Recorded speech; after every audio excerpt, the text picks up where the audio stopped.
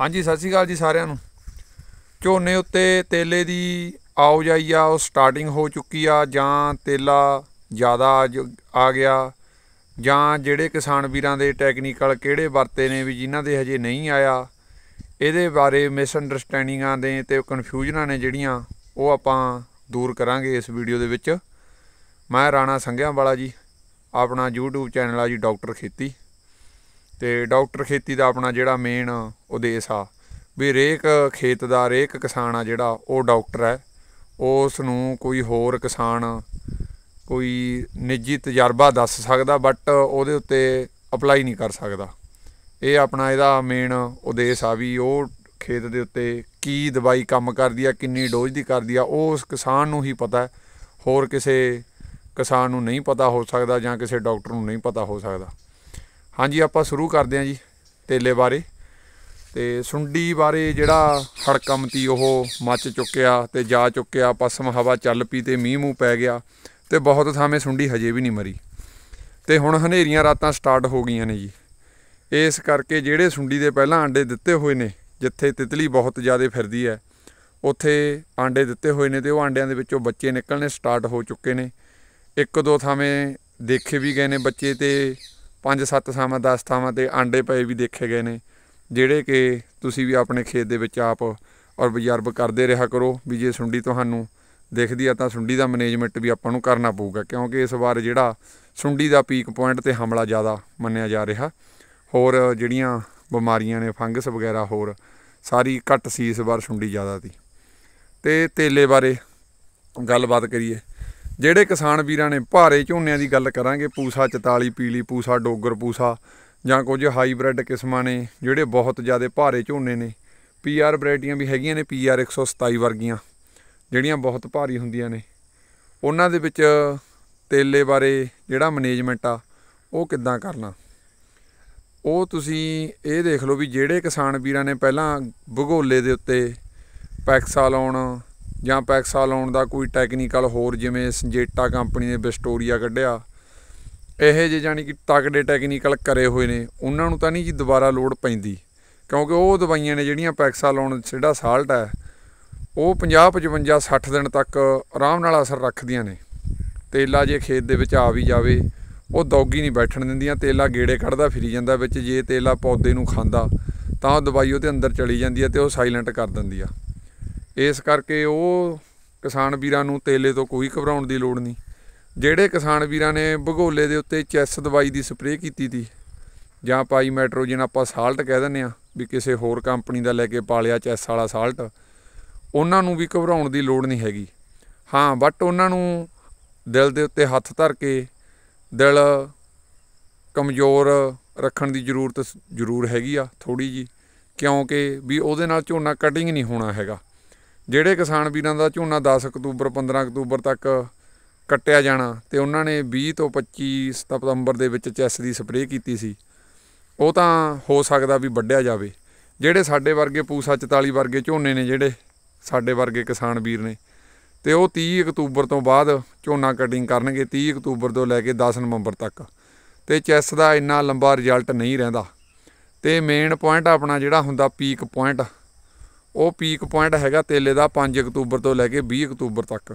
ਜਦੋਂ ਇਹਦਾ favourable temperature ਤੇ ਕੰਡੀਸ਼ਨਾਂ ਬਣਨੀਆਂ ਨੇ, ਉਦੋਂ ਇਹਨੇ ਪੂਰਾ ਆਪਣਾ ਹੜਕਮ ਮਚਾਉਣਾ ਜਿਵੇਂ ਪਹਿਲਾਂ ਸੁੰਡੀ ਨੇ ਮਚਾਇਆ ਸੀ। ਇਸ ਕਰਕੇ ਇਹ ਦਿਨ ਆਪਾਂ ਨੂੰ ਜ਼ਿਆਦਾ ਸੰਭਾਲਣ ਦੀ ਲੋੜ ਪੈਂਦੀ ਆ। ਪੈਕਸਾ ਲਾਉਣ ਤਾਂ ਕੱਟ ਜੂਗੀ ਵਿਸਟੋਰੀਆ ਵੀ ਕੱਟ ਜੂਗੀ, ਜਿਹੜੀ ਸੰਜੇਟਾ ਦੀ ਨਵੀਂ ਆਈ ਆ ਪੈਕਸਾ ਲਾਉਣ ਵਾਲੀ ਸਾਲਟ ਆ ਉਹਦੇ ਵਿੱਚ। ਇਹ ਟੈਕਨੀਕਲ ਤਾਂ ਕੱਟ ਜਾਣਗੇ ਜਾਂ ਮਾਰਕੀਟ ਦੇ ਵਿੱਚ ਹੋਰ ਵੀ ਕੋਈ ਪੈਕਸਾ ਲਾਉਣ ਜਿੰਨਾ ਰਿਜ਼ਲਟ ਰੱਖਦੀ ਹੋਵੇ ਦਵਾਈ। ਤਾਂ ਉਹ ਨੋਟ ਓਨ ਨਹੀਂ ਕੀਤਾ, ਕਦੇ ਟ੍ਰਾਇਲ ਨਹੀਂ ਕੀਤਾ, ਇਸ ਕਰਕੇ ਉਹਦਾ ਮੈਂ ਨਾਮ ਨਹੀਂ ਲੈਣਾ ਚਾਹਣਾ ਤੇ ਜਿਹੜੀਆਂ ਹੁਣ ਚੈਸ ਨੇ, ਜਾਂ ਬਹੁਤ ਕਿਸਾਨ ਵੀ ਰੋਸੀਨ ਵਾਲੇ ਨੇ, ਜਾਂ ਬਹੁਤ ਕਿਸਾਨ ਵੀਰ ਅਕਟਾਰ ਵਾਲੀ ਖੜੇ ਨੇ ਹਜੇ, ਉਹ ਤੁਸੀਂ ਨੇ ਆਪ ਦੇਖਣਾ ਵੀ ਸਾਡਾ ਖੇਤ ਇਹ ਦਵਾਈ ਦੇ ਨਾਲ ਇੰਨੇ ਦਿਨ ਕੱਢ ਜਾਂਦਾ। ਜੇ ਤਾਂ ਤੁਸੀਂ ਇਹ ਚੀਜ਼ ਦੇ ਉੱਤੇ ਪੱਕੇ ਹੋ, ਫੇਰ ਤਾਂ ਕੋਈ ਚੱਕਰ ਨਹੀਂ। ਜੇ ਨਹੀਂ ਪੱਕੇ ਹੈਗੇ ਵਿੱਚ ਵਿਚਾਲਾ, ਤਾਂ ਤੁਹਾਨੂੰ ਚੈਸ 20 ਦਿਨਾਂ ਤੋਂ ਬਾਅਦ ਰਿਪੀਟ ਕਰਨੀ ਪੈਂਦੀ ਹੈ ਦੁਬਾਰਾ। ਜਾਣੀ ਕਿ ਚੈਸ ਹੋ ਸਕਦਾ ਵੀ 30 ਦਿਨ ਕੱਢ ਜਾਵੇ, ਕਿਉਂਕਿ ਉਹ ਰਿਸਕ ਵਾਲੀ ਗੱਲ ਹੋ ਜਾਂਦੀ ਆ 20 ਦਿਨ ਤਾਂ ਗਰੰਟੀ ਨਾਲੇ ਕੱਢਦੀ ਆ। ਜੇ ਤੇਲੇ ਦੀਆਂ ਇੱਕ ਜਾਂ ਦੋ ਦੌਗੀਆਂ ਵੀ ਬੈਠ ਜਾਣ ਤਾਂ ਉਹ ਇੱਕ ਦੋ ਕੁਆਂਟਲ ਲੈ ਜਾਂਦੀਆਂ ਨੇ। ਇੱਕ ਦੋ ਦੌਗੀਆਂ ਦੇ ਵਿੱਚੋਂ ਵੀ ਦੋ ਕੁਆਂਟਲ, ਤਿੰਨ ਕੁਆਂਟਲ ਘਟ ਜਾਂਦੇ ਨੇ ਦੌਗੀ ਦੌਗੀ ਦੇ ਹਿਸਾਬ ਨਾਲ। ਇਸ ਕਰਕੇ ਆਪਾਂ ਉਹ ਨੁਕਸਾਨ ਹੋਣ ਤੋਂ ਪਹਿਲਾਂ ਹੀ ਬਚਾ ਕਰ ਲਈਏ ਤਾਂ ਚੈਸ ਕੋਈ ਬੋਲਾ ਮਹਿੰਗਾ ਟੈਕਨੀਕਲ ਨਹੀਂ ਹੈਗਾ। ਜੇ ਬਾਈ ਨੇਮ ਜੀ ਚੈਸ ਲਵੋਗੇ ਤਾਂ 500 ਰੁਪਏ ਏਕੜ ਦੀ ਪੈ ਜੂਗੀ, ਜੇ ਕਿਸੇ ਹੋਰ ਕੰਪਨੀ ਦਾ ਲੈ ਲਓਗੇ। ਵਧੀਆ ਕੰਪਨੀ ਦਾ, ਤਾਂ 250 ਤੋਂ 300 ਰੁਪਏ ਏਕੜ ਪਊਗੀ, ਤੇ ਬਟ ਜੇ ਤੁਹਾਡਾ 1 ਏਕੜ ਦੇ ਵਿੱਚੋਂ 1 ਜਾਂ 2 ਕੁਆਂਟਲ ਵੀ ਘਟ ਗਏ, ਕੋਈ ਦੌਗੀ ਬੈਠਣ ਕਰਕੇ, ਤੁਹਾਡੀ ਜਾਨੀ ਕਿ ਸਪਰੇਅ ਦੀ ਕਿਰਸ ਕਰਕੇ, ਤਾਂ ਤੁਹਾਡਾ 2-4 ਹਜ਼ਾਰ ਰੁਪਿਆ ਘਟ ਸਕਦਾ ਬਟ ਚੈਸ 300 ਦੀ ਜਾਂ 400 ਦੀ ਏਕੜ ਦੀ ਪਊਗੀ। ਇਸ ਕਰਕੇ ਇਹਦੇ ਲਈ ਅਣਗਹਿਲੀ ਨਾ ਕਰੋ, ਫਸਲ ਹੁਣ ਲਾਸਟ ਪੁਆਇੰਟ ਦੇ ਉੱਤੇ ਆ, ਤੇ ਜੇ ਹੁਣ ਆਪਾਂ ਤੇਲੇ ਨੂੰ ਖਵਾ ਲਈ, ਤਾਂ ਇਹ ਸਮਝ ਲਓ ਵੀ ਤੁਹਾਡੀਆਂ ਪਹਿਲਾਂ ਵਾਲੀਆਂ ਕਰੀਆਂ ਹੋਈਆਂ ਸਪਰੇਹਾਂ ਪਾਇਆ ਹੋਇਆ ਯੂਰੀਆ ਤੁਹਾਡਾ, ਖੇਤਾਂ, ਰਾਤਾਂ ਨੂੰ ਖੇਤਾਂ ਦੇ ਵਿੱਚ ਫਿਰਨਾ, ਸਾਰਾ ਤੇਲੇ ਨੂੰ ਖਵਾ ਖਵਾ ਦਾਂਗੇ ਆਪਾਂ, ਸਾਰੀ ਮਿਹਨਤ ਬੇਕਾਰ ਹੋ ਜੂਗੀ। ਇਸ ਕਰਕੇ ਹੁਣ ਤਾਂ ਬਿਲਕੁਲ ਵੀ ਲਾਪਰਵਾਹੀ ਕਰਨੀ ਆ ਜਿਹੜੀ, ਉਹ ਉਚਿਤ ਨਹੀਂ ਹੈਗੀ। ਤੁਸੀਂ ਹੁਣ, ਮੈਂ ਤੁਹਾਨੂੰ ਸਿੱਧੇ ਸਾਹਿਬ ਅੱਜ ਦੱਸਦਾ ਭਾਸ਼ਾ 'ਚ, ਜਿਹੜੇ ਵੀਰਾਂ ਨੇ ਓਸੀਨ ਕੀਤੀ ਆ, ਉਹਨਾਂ ਨੂੰ ਤਾਂ ਲਾਜ਼ਮੀ ਹੀ ਸਪਰੇਅ ਕਰਨੀ ਪਊਗੀ। ਕਿਉਂਕਿ ਉਹ ਸੀਨ ਦਾ ਆਏ ਹੋਏ ਤੇਲੇ ਨੂੰ ਮਾਰਨ ਪ੍ਰਤੀ ਕਾਫੀ ਵਧੀਆ ਰਿਜ਼ਲਟ ਆ ਬਟ ਪ੍ਰੋਟੈਕਸ਼ਨ ਕਰਨ ਵਾਸਤੇ ਉਹ ਬਹੁਤ ਹੱਦ ਤੱਕ ਕਮਜ਼ੋਰ ਸਾਬਤ ਹੋਈ ਆ। ਪਹਿਲੇ ਦਿਨ ਤੋਂ ਜਦੋਂ ਤੋਂ ਉਹ ਸੀਨ ਆਈ ਹੈ, ਉਸ ਦਿਨ ਤੋਂ ਪ੍ਰੋਟੈਕਸ਼ਨ ਕਰਨ ਵਾਸਤੇ ਉਹ ਕਮਜ਼ੋਰ ਹੈ।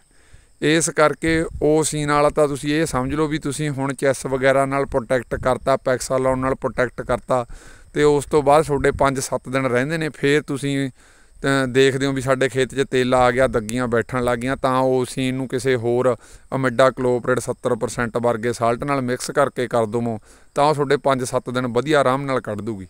ਬਟ ਜੇ ਤੁਸੀਂ ਕਹੋ ਉਹ ਸੀਨ 20 ਦਿਨ ਕੱਢ ਦੂਗੀ 20 ਦਿਨ ਨਹੀਂ ਕੱਢਦੀ 20 ਦਿਨ ਕੱਢਣ ਵਾਲਾ ਟਾਈਮ ਇਹਦਾ ਗਿਆ। ਉਹ ਸੀਨ ਦਾ ਜਿਹੜਾ ਭਗੋਲੇ ਦੇ ਉੱਤੇ ਆਪਾਂ ਸਪਰੇਅ ਕਰ ਦਈਏ, ਤਾਂ 20 ਦਿਨ ਆਰਾਮ ਨਾਲ ਕੱਢ ਦਿੰਦੀ ਆ। ਤੇ ਜੇ ਜਾਂ ਐਂਡ ਤੇ ਆ ਕੇ ਲਾਸਟ ਤੇ 5-7 ਦਿਨ ਕਢਾਉਣੇ ਹੁਣ, ਤਾਂ ਉਹ ਆਰਾਮ ਨਾਲ ਕੱਢ ਦਿੰਦੀ ਆ। ਬਟ ਜਿਹੜਾ ਹੁਣ ਪੀਕ ਪੁਆਇੰਟ ਆਉਣਾ ਤੇਲੇ ਦਾ ਉਹ ਉਹ ਇਸ ਪੁਆਇੰਟ ਦੇ ਉੱਤੇ ਚੈਸ ਵਾਰਾ ਟੈਕਨੀਕਲ ਜਾਂ ਪੈਕਸਾ ਜਿਹਦੀ ਪਹਿਲਾਂ ਕੀਤੀ ਹੋਈ ਆ, ਉਹ 60 65 ਦਿਨ ਤੇ 70 ਤੇ 75 ਤੇ ਕਿਸੇ ਵੀ ਕਿਸਾਨ ਨੇ ਜਿਵੇਂ ਵੀ ਕੀਤੀ ਆ, ਉਹ ਟਾਈਮ ਆ ਜਿਹੜਾ ਉਹਨੇ ਕਰਤਾ ਕੰਮ ਜਾਂ ਹੁਣ ਚੈਸ ਕਰੂਗੀ। ਇਸ ਕਰਕੇ ਇਹ ਗੱਲ ਨੋਟ ਆਉਣ ਕਰ ਲਿਓ ਵੀ ਤੁਸੀਂ ਨੇ ਹੁਣ ਚੈਸ ਹੀ ਰਿਪੀਟ ਕਰਨੀ ਆ ਤੇ ਹੁਣ ਤੇਲੇ ਦਾ ਅਟੈਕ ਆਊਗਾ 5 ਅਕਤੂਬਰ ਤੋਂ 20 ਅਕਤੂਬਰ ਦੇ ਵਿੱਚ ਦੱਗੀਆਂ ਬੈਠਣੀਆਂ, ਤੁਹਾਨੂੰ ਖੇਤਾਂ ਦੇ ਵਿੱਚ ਦਿਖਣਗੀਆਂ ਕਿਉਂਕਿ ਇਹਦਾ ਫੇਵਰੇਬਲ ਟੈਂਪਰੇਚਰ ਬਣੂਗਾ। ਇਸ ਨੂੰ ਜੇ ਤੁਸੀਂ ਹੁਣ 5 ਅਕਤੂਬਰ ਦੇ ਨੇੜੇ ਤੇੜੇ ਨਾਲ ਸੁੰਡੀ ਵਾਲੀ ਵੀ ਪਾ ਲਿਓ, ਕਿਉਂਕਿ ਇਸ ਵਾਰ ਸੁੰਡੀ ਦਾ ਅਟੈਕ ਜ਼ਿਆਦਾ ਤੇ ਸੁੰਡੀ ਦਿਖਣ ਵੀ ਲੱਗੀ ਦੁਬਾਰਾ ਨੇਰੀਆਂ ਰਾਤਾਂ ਕਰਕੇ। ਉਹ ਨਾਲ ਪਾ ਲਿਓ ਤੇ ਫੰਗਸ ਵਾਲੀ ਹੁਣ ਕੰਟੈਕਟ ਕੰਮ ਕਰੂਗੀ ਜੀ। ਸਿਸਟੇਮਿਕ ਨਹੀਂ ਕੰਮ ਕਰਨੀ ਹੈਗੀ, ਝੋਨੇ ਨਿਸਰ ਚੁੱਕੇ ਨੇ ਆ ਸਾਹਮਣੇ ਵੀ ਦੇਖ ਰਹੇ ਹੋ ਤੁਸੀਂ। ਇਹਦੇ ਉੱਤੇ ਕੰਟੈਕਟ ਦਵਾਈਆਂ ਕੰਮ ਕਰਦੀਆਂ ਨੇ, ਜਿਵੇਂ ਫੌਲੀਕੋਰ ਵਗੈਰਾ ਹੋ ਗਈ। ਧੰਨਵਾਦ ਕਿਸਾਨ ਵੀਰੋ, ਜੇ ਕਿਸੇ ਵੀਰ ਦਾ ਤੇਲੇ ਪ੍ਰਤੀ ਸਵਾਲ ਹੋਵੇ ਤਾਂ ਜਰੂਰ ਰਿਪਲਾਈ ਦਵਾਂਗੇ ਕਮੈਂਟ ਕਰ ਦਿਓ।